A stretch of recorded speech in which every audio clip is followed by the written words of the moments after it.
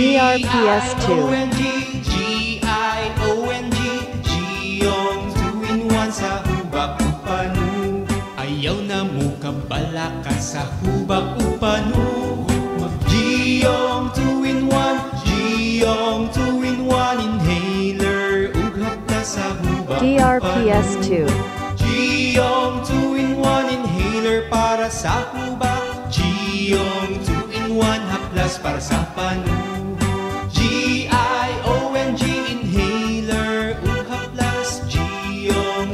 2-in-1 sa hubak ug panu Para sa hubak ug panuho DRPS2.